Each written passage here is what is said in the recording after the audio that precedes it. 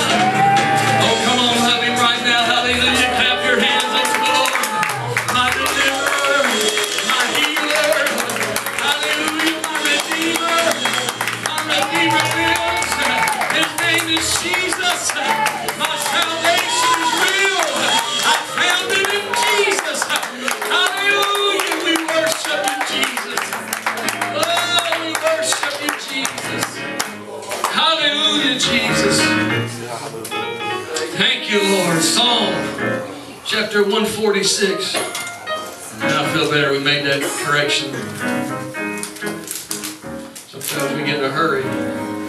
Where'd he go?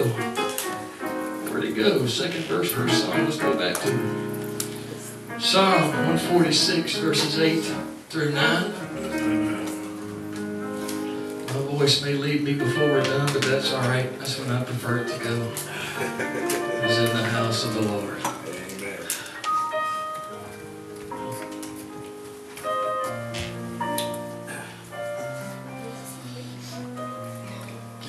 You ever told somebody, stop trying to be so cute?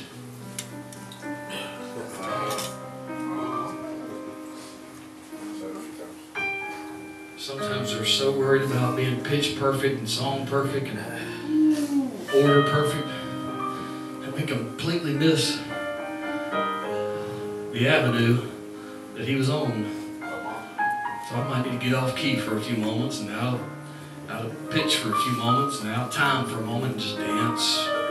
Find him, rejoice with him. Don't miss your moment. It's not what I'm preaching, but don't miss your moment.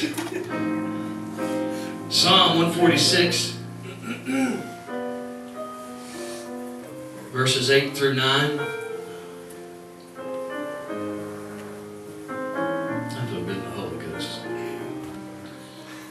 146, 8 through 9. I, I, I'm, I feel like I'm fixing to be redundant, Brother Duke. I, I only sat in there for like 10, 15 minutes today, and you covered most of this. And uh, I wasn't in there last week, and I think you probably covered more of it, but maybe this is for those of you who didn't make the 10 o'clock service. I don't know. And, and maybe it applied to those of you who were in there, and we just, you know, if you're like me, you got to hear it five or six times before it goes click. Oh, that's what you meant. He said, The Lord openeth the eyes of the blind. Thank you, Jesus. The Lord raiseth them that are bowed down. The Lord loveth the righteous. The Lord preserves the strangers. He relieveth the fatherless and widow. But the way of the wicked he turneth upside down. The way of the wicked turneth upside down. And I'm just going to preach for a little bit on living life upside down. Living life upside down. Let's just go before the Lord one more time. Thank you, Jesus, for you invading this house today. This is your house. You're welcome here anytime and all times, Father. Have your will and have your way every day in this house, Lord. Have your way today, Jesus. And on our ears to hear. Father, you gave me this word for somebody. I pray, oh God, that it find a lodging place deep in the recesses of our mind and spirit and heart, that it would quicken us, oh God, and stir us today. We worship you, Jesus. We worship you, Jesus. Hallelujah, hallelujah. Thank you, Lord, for the healing. I, I thank you for those you healed today. It's done. We thank you for it. I thank you, Lord, for the moving and stirring of your spirit and for the angels that are here among us today. We give you praise. We give you glory. In Jesus' name. Let the church say amen. May be seated in Jesus' name. But the way of the wicked he turneth upside down. So who are the wicked? The word is rasha. It means morally wrong, a bad person, condemned, guilty, ungodly, wicked man that did wrong. And it comes from the word rasha, which means to be wrong, to disturb, or to violate. In other words, the wicked are those who live in sin, those who are ungodly, guilty, condemned to death by their sin. For the wages of sin is death, and such were some of us. But God didn't intend it to be that way.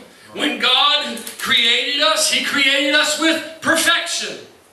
And the first of us were Adam and Eve. They walked with God and they talked with God and they, they had a constant of His presence and they excitedly anticipated the arrival of His voice walking in, in the cool of the garden to greet them and to fellowship with them and he gave them authority and dominion over every living thing. And he gave them complete access to all vegetation and fruit with only one exception the fruit from the tree of knowledge of good and evil. And somehow they managed to let the influence of another voice, another opinion, another presence in the garden to cause them to trade away everything for one thing that was forbidden. A curtain of darkness fell between them and their Creator, and their awareness and their excitement of Him was replaced with guilt and fear and torment. And even though Adam and Eve had each other, there was still an incredible void in their minds and in their hearts with all that they were exposed to, suddenly stripped away, and they found their world rocked, and now they were living life as though it had turned upside down. Adam tried to cover his sin, his shame with some vegetation, but God declared that the innocent blood of a lamb was necessary for in order to cover that sin. Adam went on to have a few children, the first of which was named Abel who had paid close attention to his dad's approach to God. He had noticed that he took a sacrifice that required blood and he followed suit and it was accepted. And the Bible basically tells us that Abel was in good standing with God. But there was another son and his name was Cain. And Cain didn't want to learn anything from his father. He said, I got to do it my way. And he simply ended up by doing it his way, repeating the same foolish error of his father by trying to offer a sacrifice of vegetation from a cursed ground. Instead of obeying God's command, the Bible says he was called the wicked seed. The wicked seed. Cain's envy and his jealousy, his anger, and finally his bitterness led him to slay his. He became the first murderer on earth. And five generations later, his seed Lamech became the second murderer on earth. And Cain's seed would go on to become inventors of musical instruments and various arts and other entertainment as they tried desperately to fill the void of God while they were living their life upside down. God offered comfort to Adam and Eve and gave them another son named Seth, and he also obeyed and kept the commandment of the Lord. And his fifth seed was Enoch, who had this testimony that he walked with God. And because he pleased God, God pulled him out of this earth and took him into a heavenly place to be with him. And the eighth seed was Noah whom God gave the blueprints and commanded him to build an ark, which he did, and it saved Noah and his family from the flood that destroyed a very wicked humanity. When the earth was full of people whose hearts and minds were on evil, continually thinking only of themselves, mocking the only preacher on earth and the only church that was in existence that could possibly save them, all because they were living life upside down. They were opposing themselves. What they thought was right was wrong. Isaiah chapter 24, 1 through 5 and 17 through 20. The scripture says, Behold, the Lord maketh the earth empty, and maketh it waste, and turneth it upside down, and scattereth abroad the inhabitants thereof. And it shall be as with the people, so with the priest, as with the servant, so with his master, as with the maid, so with her mistress, as with the buyer, so with the seller, as with the lender, so with the borrower, as with the taker of usury, so with giver of usury to him. The land shall be utterly emptied and utterly spoiled. For the Lord hath spoken his word.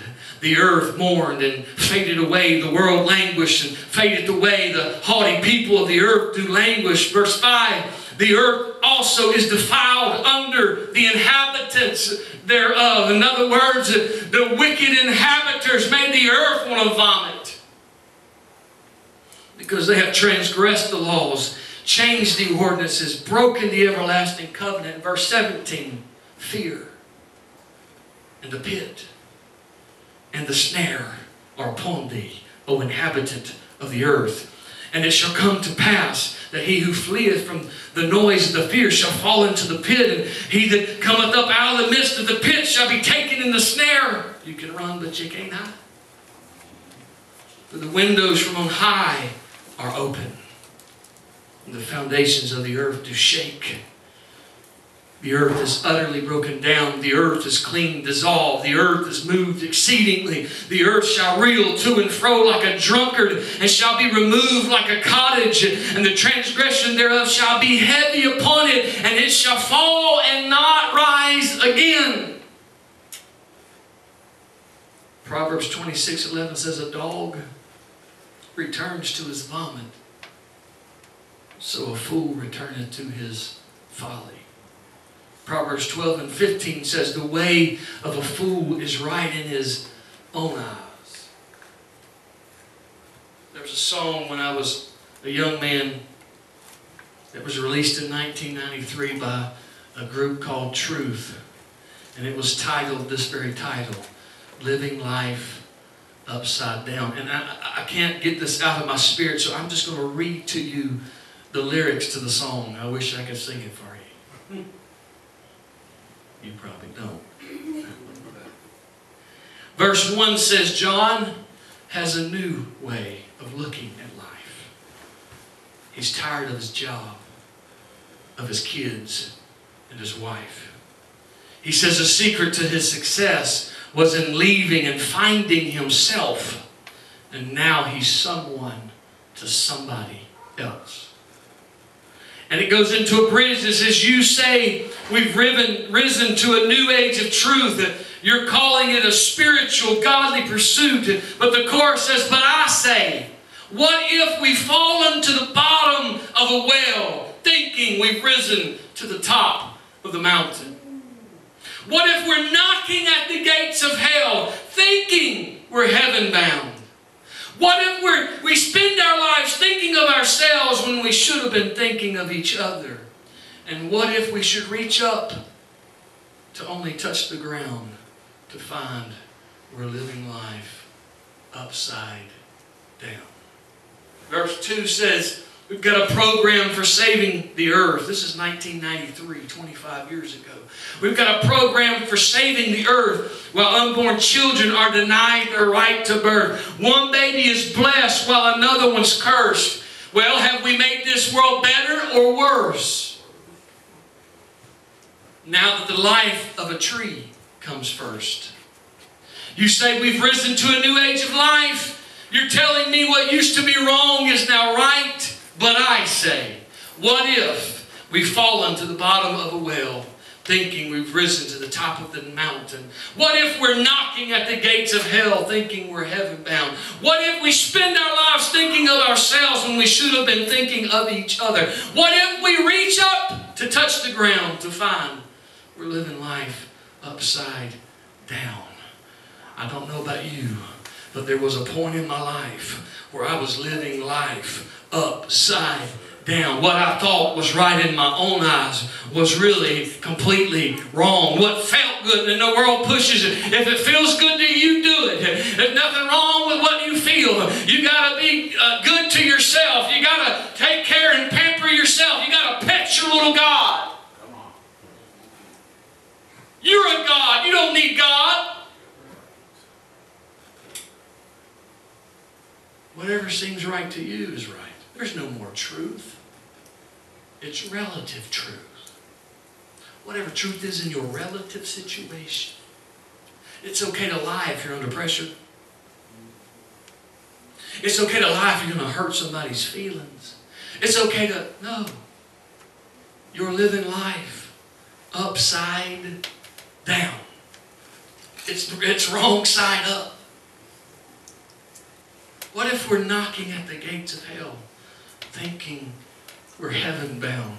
2 Timothy 2 15 through 21 says, Study to show thyself approved unto God, a workman that needeth not to be ashamed, rightly dividing the word of truth. But shun profane and vain babblings, for they will increase unto more ungodliness, and their word will eat as doth a canker, of whom is Hymenaeus and Philetus, who concerning the truth have erred, saying that the resurrection is past already, and overthrow the faith of some. Nevertheless, the foundation of God standeth sure, having this seal The Lord knoweth them that are his. And let everyone that nameth the name of Christ depart from iniquity. Let everyone that nameth the name of Christ get away from sin, get away from wickedness, get away from iniquity. If you name the name of Christ, what is the name of Christ? It's not Christian. His name is Jesus. Christ is what he was. Christ means Messiah, Savior. His name is Jesus. He said, if you name the name, let everyone that nameth the name of Christ depart from iniquity. How do you get away from iniquity? Mark 16, 15 through 17. And he said unto them, Go into all the world and preach the gospel to every creature. He that believeth and is baptized shall be saved. But he that believeth not shall be damned. Don't tell me water baptism isn't necessary for salvation. The scripture says, if you believe, you'll be baptized and you can be saved. If you don't want to be baptized, you can't be saved. I didn't say that. Jesus did. He said, these signs shall follow them to believe. In my name they shall cast out devils. They shall speak with new tongues. Tongues ain't for the church. Oh, yes. It's for the church. It's how you know you've been born in the church. Don't be quiet on me. Man. This will be the hundredth time you've heard this. Luke 24, I guess silence is agreement. That's how that works. Luke 24, 45 through 49. Then opened he their understanding that they might understand the scriptures. And he said unto them, Thus it is, uh, thus it is written, and thus it behooved Christ to suffer, and to rise from the dead the third day, and that repentance and remissions of sins should be preached in his name among all nations, beginning at Jerusalem. And ye are witnesses of these things. Behold, I send the promise of my Father upon you, but tarry in the city of Jerusalem until ye be endued with power from on high. Acts 1 and 8. But ye shall receive power after that the Holy Ghost has come upon you. Ye shall be witnesses unto me both in Jerusalem and in all Judea and Samaria unto the othermost parts of the earth and a very familiar portion of Scripture, Acts chapter 2, verse 1 through 4. Day of Pentecost was fully come. They were all with one accord in one place. Where was the one place? Jerusalem, the upper room. They were together there. They obeyed God. They went where He said go, and they stayed when He said stay. And suddenly there came a sound from heaven as of a rushing mighty wind, and it filled all the house where they were sitting. And there appeared unto them cloven tongues like as of fire, and it sat upon each of them. And they were all filled with the Holy Ghost, and began to speak with other tongues as the Spirit gave them utterance. Yes, you have to speak in tongues. Come on. Try it. Come on. Try it. Sorry. Didn't make sense to me one day either.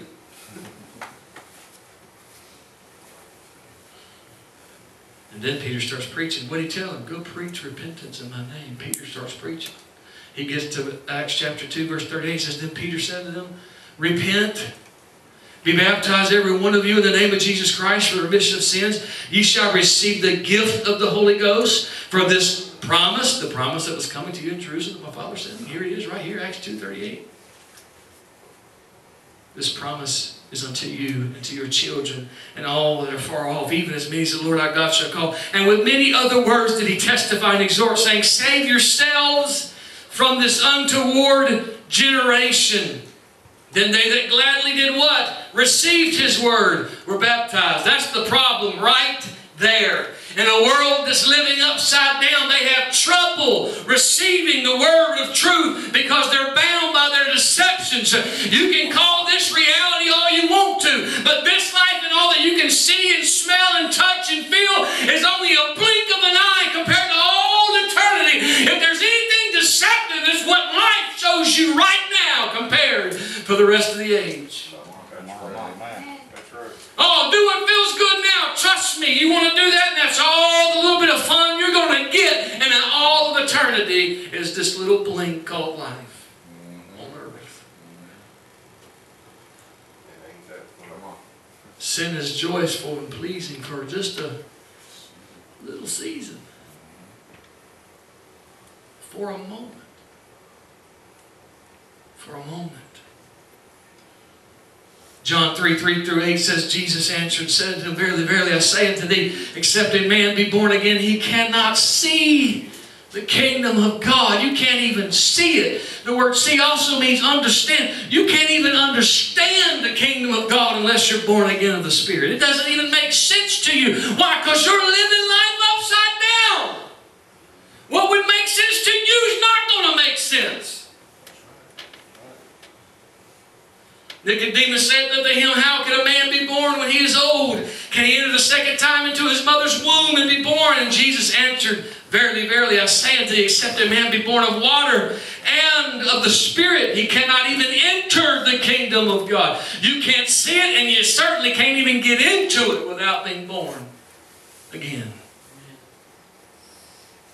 That which is born of the flesh is flesh, and that which is born of the Spirit is spirit. Marvel not that I said unto thee, Ye must be born again. The wind bloweth where it listeth, and thou hearest the sound thereof, but canst not tell whence it cometh, whither it goeth. So is everyone that is born of the Spirit. You are not born of the Spirit unless you make a sound when the Spirit comes. And the word sound is phone, which means language. Unless you talk in tongues, baby, the Holy Ghost never came. Come on.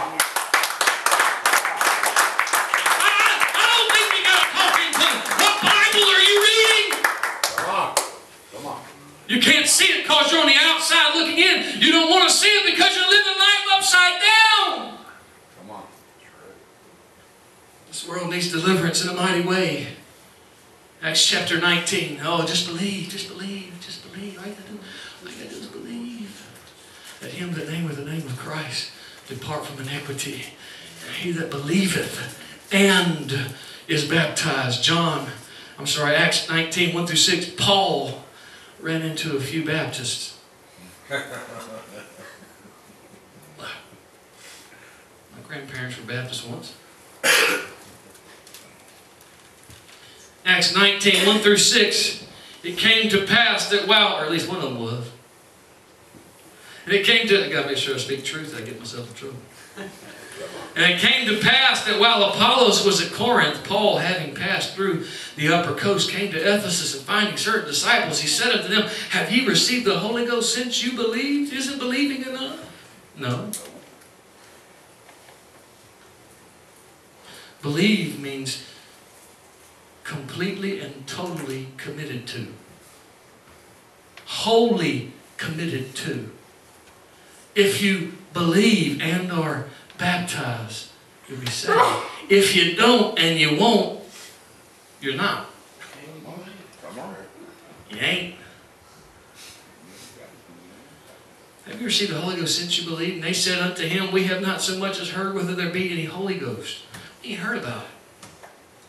And remember, I taught you before, this was 20 years after Pentecost. 20 years.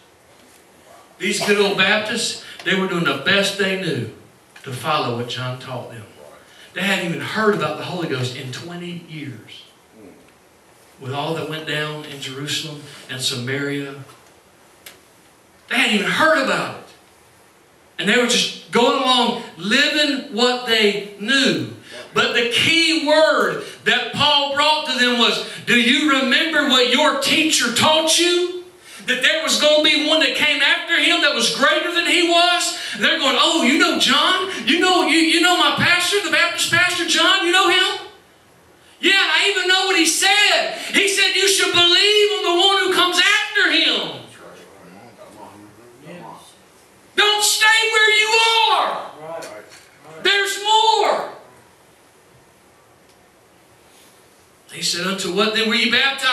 And they said unto John's baptism. Then said Paul, John verily baptized with the baptism of repentance, saying unto the people that they should believe on him which should come after him, that is on Christ Jesus. And when they heard this, they were baptized in the name of the Lord Jesus. That should say they were rebaptized. I've had to be baptized more than once because I came to a revelation that that first way wasn't the right way.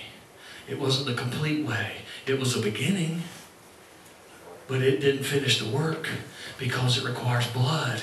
And when Jesus gave his blood on Calvary, the, the heavens were rocking, the storms were rolling, the rain was falling as his blood drifted down off that cross and went into the earth. The waters of the rain washed it all into the seas and the, and the valleys, and maybe it was caught up with uh, precipitation or evaporation and got into the skies. And so his blood is literally in the water. Come on. Amen. The Creator's blood went into the water. Why is it then that you must be baptized calling on the name of the Lord because His name is the authority that releases the blood out of the water that covers your sin? I gotta have His name. Come on. That's right. If I'm going to depart from iniquity, I gotta go down in His name. I gotta go down. His, he's gotta flip my life right side up. I've been living all this time upside down. My thinking's been backwards. My understanding's been skewed. Even though I have a religion, even though I have some faith, it's still twisted and perverted because I'm looking through a glass, a glass darkly. Come on. We'll see it all. Come on. But if you hunger and thirst after Him, He'll meet you. He'll meet you. Listen to Acts chapter 17.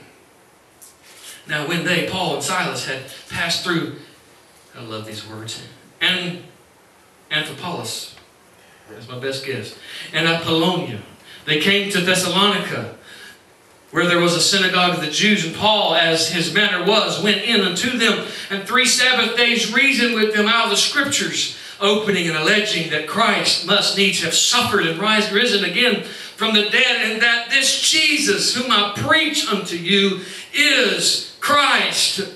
And uh, this is me, okay?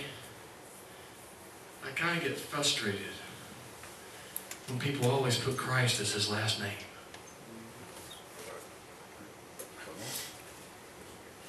That's just me.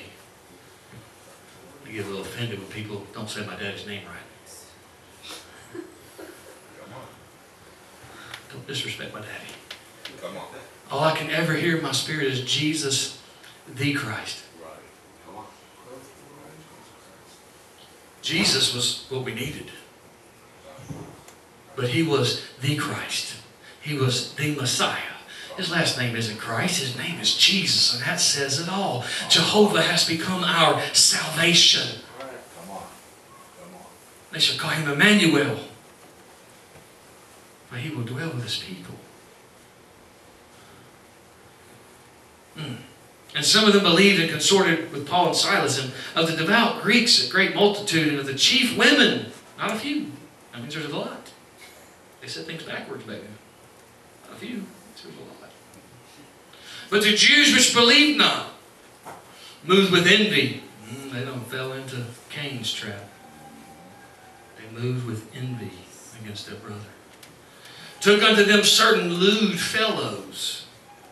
Now, I've looked that word up, lewd fellows of the baser sort. That just means they were brute beasts, ruffians, callous men, known for being rough. They were the gangs back in the day. Maybe there was a mafia in there, I don't know. Rough.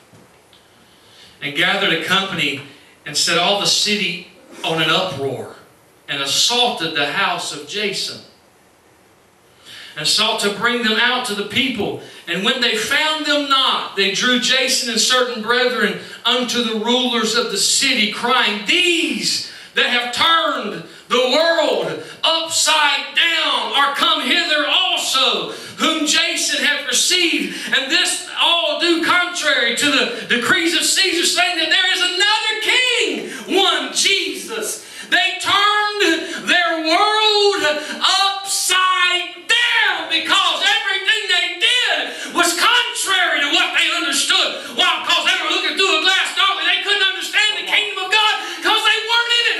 They couldn't understand how to get in it. But they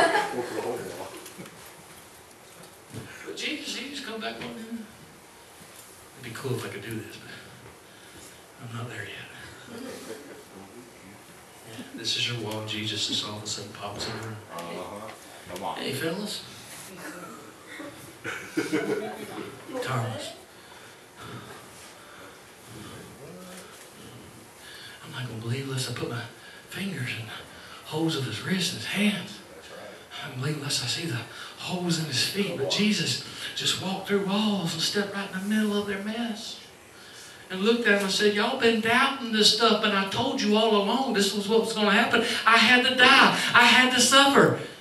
So now get up and go preach it. Come on. Come on. Come on. Get over yourself. Mm-hmm. You've got what you need. I've equipped you. I've empowered you. Now go do what I told you to do. Because when you speak my name, lo, I will be with you always. Come on. Even in the low places, He's with us. There's another one King, one Jesus. He is King. I will close with this 2 Corinthians chapter 5, 17 through 19. Musicians come. Therefore, if any man be in Christ, he is a new creature. Old things are passed away, behold, all things are become new. And I could just go into Bible study after Bible study right here. What does it mean to be in Christ? Amen. Be in Christ. We're not in Him. The Bible says until we're baptized into Him.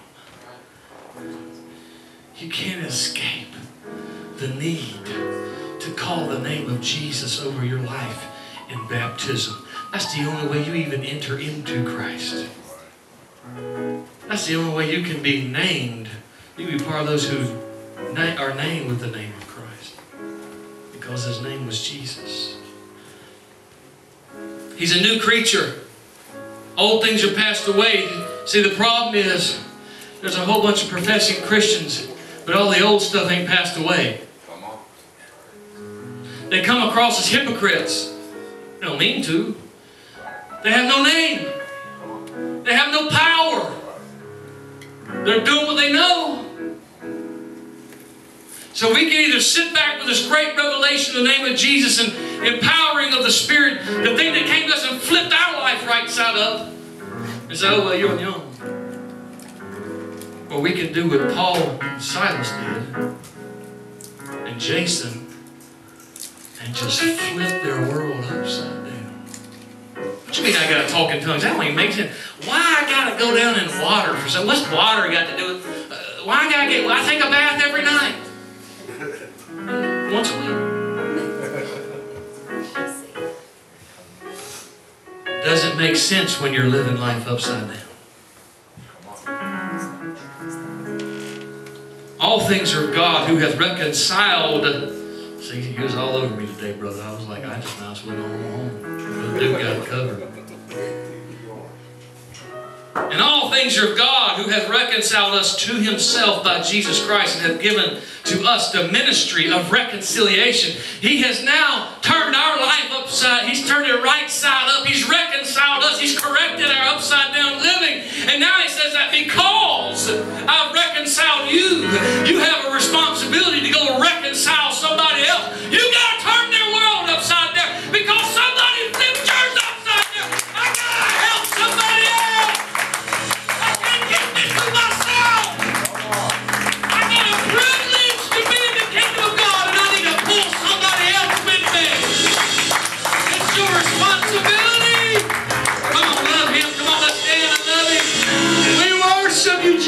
Jesus. We praise you, Jesus. Hallelujah. We worship you, O God.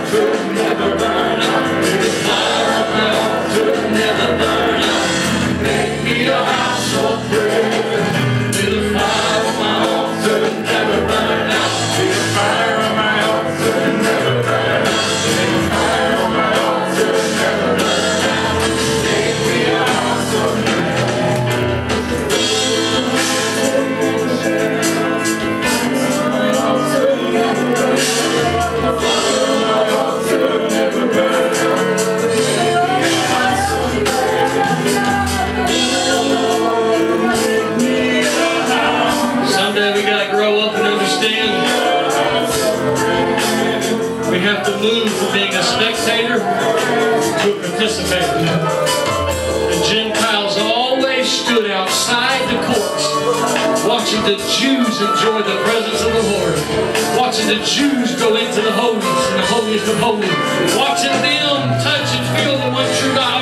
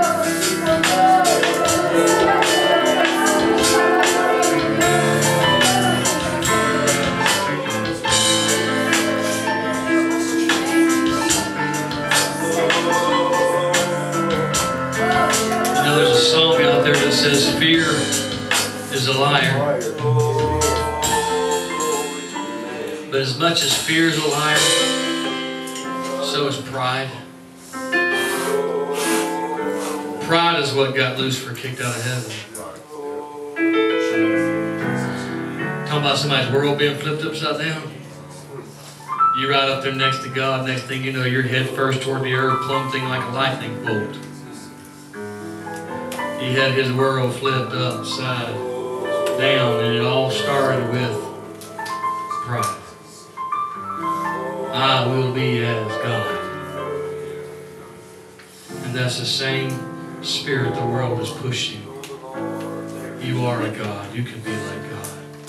And don't get me wrong, we want to be like Jesus. But we understand that we're sons of God, not God. I can be a son of God, but I'm not God. And Lucifer was the son of God who wanted to be God. His pride You want your world flipped upside down? Don't get pride under control, and your world will be flipped upside down. Every young man between like 16 and 20, our pride like soars to the moon, and we know everything, and Dad knows very little, and we'll wind up being just like Cain, repeating the error of our father, because all of us go through that There are times when I, when I was growing up, that you know those things you hate that your dad did.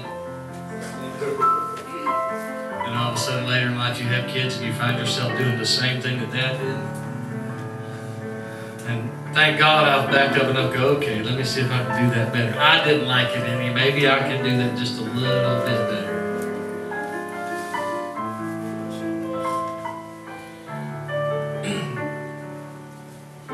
Y'all see Brother Keith jamming away like that, we're not trying to hype up the spirit. I'm gonna answer that. I heard that in the spirit. I heard I heard somebody think that. We're not trying to jam it. That's his way of worshiping. That's how he worships. That ain't scripted. We, I'm not a forceful, you know what, I don't want to preach tonight. Let's just uh, see if I can get the right song and the right pitch and let's just break loose. So I ain't got to preach. No, I want to find wherever vein he's in and get there and just stay there as long as I can stay there.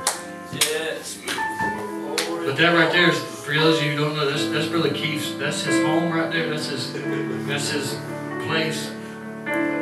So when he starts worshiping, the Lord starts like taking him like a puppet, starts to like this. And you probably haven't been here yet where he went up on the floor over here. And the Holy Ghost, he, he's a holy roller. He, Don't miss a he goes back in the day. And, and he can get right back up off the floor, come right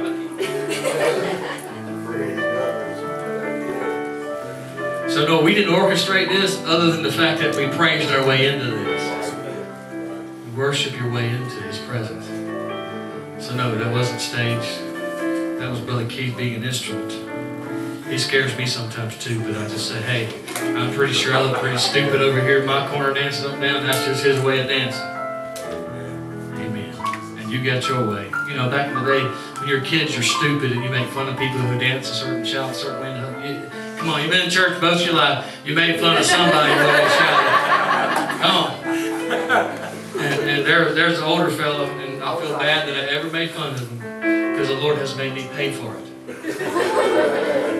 But he had one of those toupees that wrap. Man, the spirit hit that dude.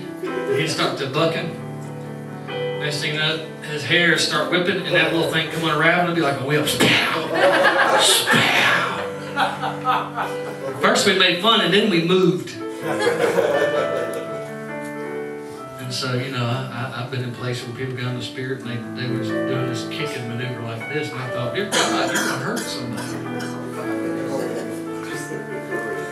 So I, I'm not going to, uh, I'm not going to say how someone will respond to the Holy Ghost because I've seen it all. But I will protect you if somebody's going to whip you with their hair.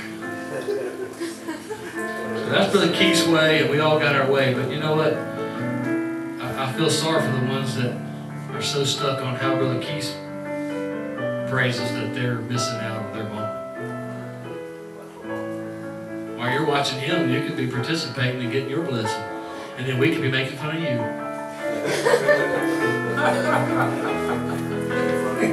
That's the way that works. no, I'm so glad